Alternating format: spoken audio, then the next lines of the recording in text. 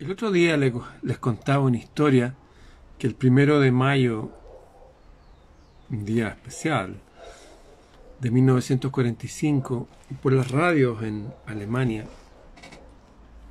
después de sonar el ocaso de los dioses de Wagner y la séptima sinfonía de Bruckner, eh, se habló que, y se hizo énfasis varias veces, que lo que se había estado combatiendo era los bolcheviques, a los bolcheviques. Y los, los bolcheviques como los enemigos de Europa y luego del mundo. Y algunas personas me preguntaban, ¿y quiénes son los bolcheviques? ¿Quiénes son? Yo tuve un gran amigo, muy famoso en mi país, Peter Mochunsky von Remenik, más conocido como Peter Rock, que era un cantante de rock nacional. De hecho, fue el primero que con su hermano Alex cruzaron la cortina de hierro. Eh, pertenecían a la Polydor en Alemania, fueron número uno allá. En fin. Y el padre del Peter fue un ruso blanco. Los rusos blancos eran los que combatían a los bolcheviques. Dentro de Rusia, habían un movimiento que combatía a los bolcheviques y que no eran pocos. Eh, ¿Qué significa bolchevique?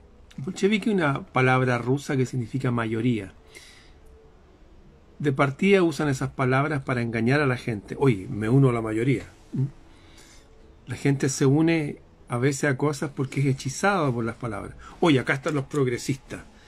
Unámonos a ellos. Mira, acá están los que están con los pobres. La gente se une por eslogans, por palabras de poder que funcionan como hechizos. Los bolcheviques, una palabra que significa mayoría, y tenían que ver que juntaron a la gente agrícola, a los campesinos, con los obreros. Esto fue en 1903. Eh, Lenin los formó. Y el objetivo de esta unión de trabajadores del campo, eh, agrícola y, obreros de la ciudad, de la construcción, era instaurar una dictadura. Repito, ¿cuál era el objetivo de los bolcheviques? Instaurar una dictadura. ¿Cómo es posible eso? Dictadura del proletariado, así lo llamaban. Una dictadura dirigida por las personas más pobres y las menos educadas. El objetivo de formar esa dictadura era tomar las tierras y repartírselas entre ellos. Bueno, esto fue hasta 1918, en que, bueno, asesinaron al zar, violaron a sus hijitas, una cosa terrible. Los rusos blancos, entre ellos el papá de mi amigo, murió.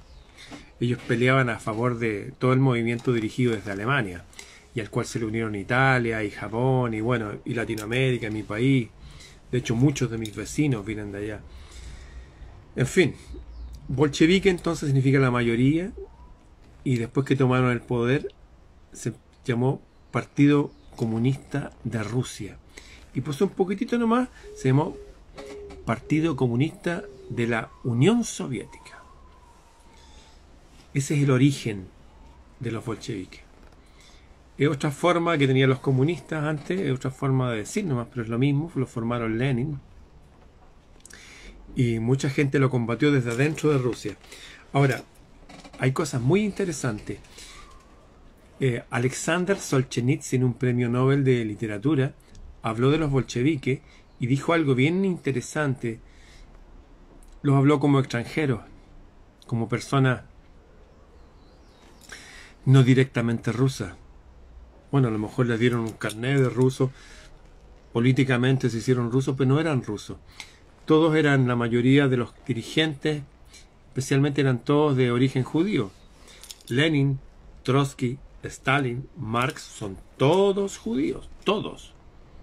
Trotsky, de hecho se llamaba Davidovich, que significa hijo de David, que lo importaron desde Estados Unidos para hacer la revolución esta bolchevique que buscaba instaurar una dictadura.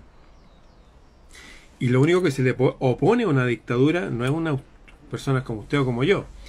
Es otra dictadura más fuerte, un gobierno más fuerte. Claro, si pierden, uy, se ponen a gritar y a llorar. Pero es la única forma. De hecho, ¿saben cuánto mató la dictadura del proletariado en la Unión Soviética? Mataron a 66 millones de personas según Alexander Solzhenitsyn. 66. ¿Cuántos son los que murieron en la Segunda Guerra Mundial en todos los países del mundo que participaron? 60 millones. O sea, murió más gente debido a los bolcheviques en Rusia, en la Unión Soviética, que en toda la guerra. Y murieron en tiempos de paz. Los asesinaban nomás. Voy a insistir en esto. Solamente en Ucrania, Stalin asesinó a más de 10 millones de personas de hambre. Cuando hablamos de los bolcheviques, más conocidos hoy día como Partido Comunista, no estamos hablando de gente buena, ni santa, ni deseable. Estamos hablando de una cosa orgiástica, de locura asesina, que no, te no les da lo mismo matar a uno o matar a más de 100 millones como mataron en todo el planeta. Ellos mataron a 66 millones. Los chinos reconocen que ellos, con el bolcheviquismo, entre comillas, en China, mataron a 60 millones. Los muertos por los bolcheviques o comunistas son sinónimos. En ambos países solamente equivalen a muchísimo más que las dos guerras mundiales. Por eso cuando uno habla de que izquierda, derecha y todo, algunos insisten en decir que izquierda y derecha es lo mismo. No es lo mismo. Se los puede usar el sistema con igual poder como los pedales de una bicicleta. Pero el los bolcheviques, la parte izquierda del espectro, puede ser tan siniestra y oscura como asesinar a decenas de millones de personas de hambre por el único pecado de no creer en su sistema, de ser creyentes en Dios y de ser intelectuales. Los bolcheviques entonces es una palabra rusa que significa mayoría, fue inventada por Lenin, que es de origen judío, igual que Trotsky, Stalin. Esto es importante porque Alexander Solzhenitsyn, que no es de origen judío, premio Nobel de Literatura, que estuvo preso 20 años en Archipiélago Gulag, que era unas islas de hielo en Siberia, él dice, esta gente extranjera se nos infiltró y nos destruyó desde adentro. Porque son gente apátrida finalmente, que no, no tienen como las raíces de uno, que uno ama su país, su bandera, sus tradiciones. No, ellos son internacionales. Ellos van tomando ese país y quieren una revolución en todo el planeta y no van a estar tranquilos hasta que controlen todo el planeta. Es una cierta locura institucionalizada. Entonces, bolchevique entonces es una palabra rusa que significa mayoría, fue inventado por Lenin en 1903 hasta 1918 por ahí. 15 años tuvieron, apenas asumieron el poder, se cambiaron el nombre a Partido Comunista. Y el primero de mayo de 1945, cuando salió esta transmisión por radio, diciendo que, bueno, pusieron esta música de Wagner después de Bruckner, y diciendo que el verdadero motivo, lo dijeron durante siempre, pero hasta el final, eh, fue combatir a los bolcheviques para proteger a Europa y el mundo del avance de esta gente. Hoy día los bolcheviques controlan incluso la, lo voy a decir, la organización mundial, usted sabe de qué. Eso. No lo puedo decir para que no me censuren. Y les da lo mismo. Les da lo mismo. Ellos dicen que lo hacen por nuestro bien, que nos están protegiendo de plagas y de cosas. La verdad es otra, no les creemos nada. Los bolcheviques son la plaga. Esta gente es mala, es asesina. Ah, ¿cómo se han ocultado todo este tiempo y la gente no habla de ellos? Porque ellos usan la psicología, la mayoría de los grandes psicólogos como, no sé, Freud, su sobrino que creó todo lo, que es la propaganda, qué sé yo, eh, para que no lo señalen a ellos como genocida, tomaron a un tipo, a un perdedor de la guerra, un tipo que se peinaba con el pelo que siempre se le caía con un bigote raro, y dijeron que él había asesinado a 6 millones de personas de cierto grupo étnico. Y eso lo dijeron muchos años después de la guerra. De hecho, no habían 6 millones en toda Europa. O sea, eso es una mentira. Yo tengo en mi poder una copia de un certificado de la Cruz Roja Internacional donde se hablan que de esa gente murieron un poco más de 200.000. Lo que es absolutamente normal en una guerra. Se murieron 60 millones. No, pero después, no, que ese tipo fue un asesino loco y asesinó a 6 millones. Y durante 80 años, desde Hollywood, todas las películas, todas y bueno, los libros y las charlas y todo, los alemanes fueron los malos, el tipo del bigote era un loco.